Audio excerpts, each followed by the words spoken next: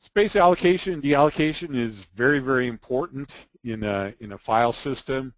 Um, Windows does this by managing what's called a free list, and this is just a list of spots on disk that aren't being used by anything. And so you, uh, when you go and you request some uh, disk space from Windows, uh, open a file, it will go out to the free list and find a spot uh, that has some, some free bytes and write to it. We'll spend quite a bit of time talking about the free list because it's very important to understand. Concurrency, again, the file system manages concurrency, so you can, uh, obviously you can have um, two different uh, programs updating the, the uh, uh, same bytes on disk at the same time or they'll overwrite each other and you know chaos will result. And so managing that concurrency so that, that people take turns writing and those kinds of things is, again, managed by the file system. You can have exclusive access you may have shared access where you're taking turns writing. Security is also managed by the file system.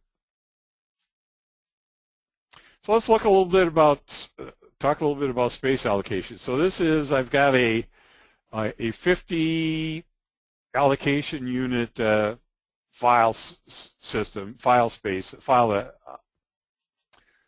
a disk space, I guess, that I'm, that I'm going to try and allocate the space on. So I write a file that takes up 15 of those.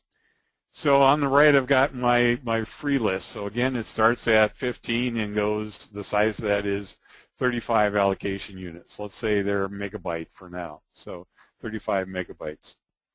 I write another file, then it's also 15. So again, uh, my free space now starts at 30 and it's only 20. I now I had a, a 5 megabyte file and now I've got 15 megabytes free at the end. Now let's delete that middle file. So now you can see when I delete the, the file, now I've got two entries of my, my free list. The, the one I had before plus the one from the, the data that I just, uh, the uh, file I just deleted. And as I write more stuff into that, that free space, again, I'm writing, as you see, I took the red file and extended it, and it got extended at the end. I wrote a blue file in there, and it wrote in two pieces. I wrote a green file. Uh, I guess that's uh, olive green. Uh, and again, that wrote in the place. Now I've got two spots on my free list, uh, one very small and one a little bit larger.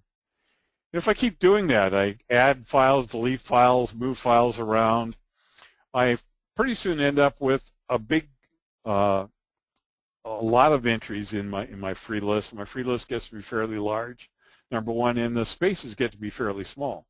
So now um, I've got some issues there. One is is that, that when I'm going in and, and finding space, it might take a while to find it because I got to go through a lot of entries in the free list. The second thing is is what if I need to allocate um, 8 megabytes? you can see my biggest spot there is, is 6 megabytes. So the only way I'm going to actually get 8 megabytes would be to move some data around on the file system so I can uh, free I can have one spot free at 8 megabytes or I'm going to have to then uh, allocate it in two places. For example, I could uh, start at 42 and do 6.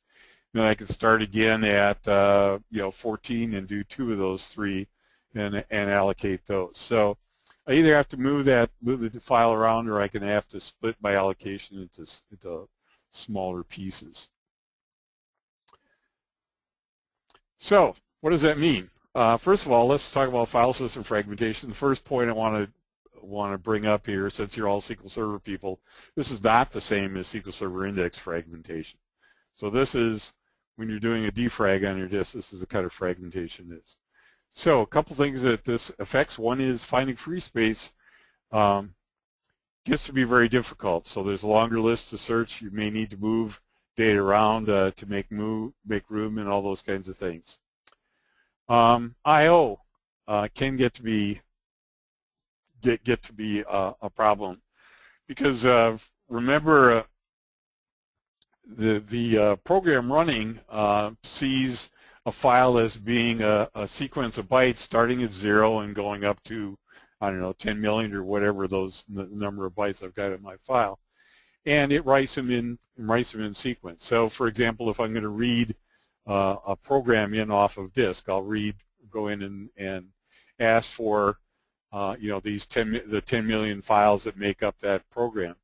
Now, if my disk is badly fragmented, those 10 million bytes won't probably won't be in a row. they may be in, you know, five or six or even 10 or 20 different spots on the disk. And so in order to actually uh, pull those bytes off, I'm going to have to seek all over the disk. And remember we talked about, about the seek latency and rotational latency.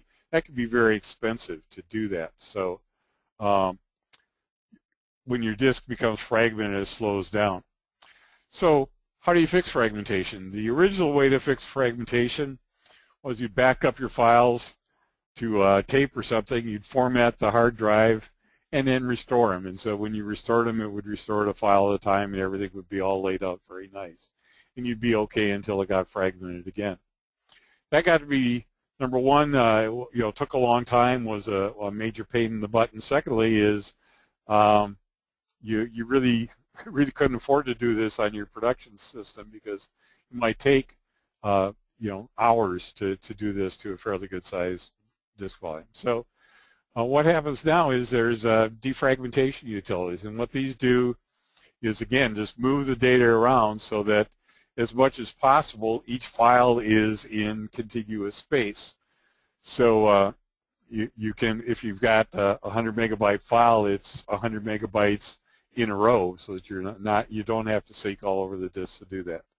So defragmentation, um, I'm sure you've all done that and, and uh, do that regularly. Um, and the reason that's important is because just through normal operations, your file system becomes fragmented.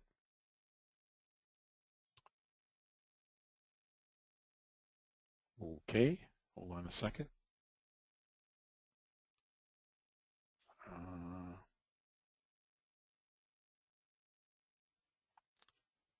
sorry about that. I'm, for some reason, ended up hanging. Let me, uh,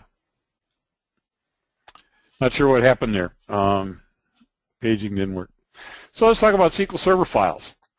So, you know, because, uh, you know, SQL Server recognizes that fragmentation is, is a bad thing and all that kind of stuff, the, when uh, you create a file of a particular size in, in SQL Server, it goes and allocates all the space that you told it to allocate when you first create it.